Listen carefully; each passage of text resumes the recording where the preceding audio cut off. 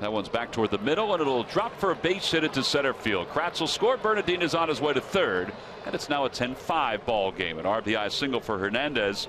That's his sixth hit in this series.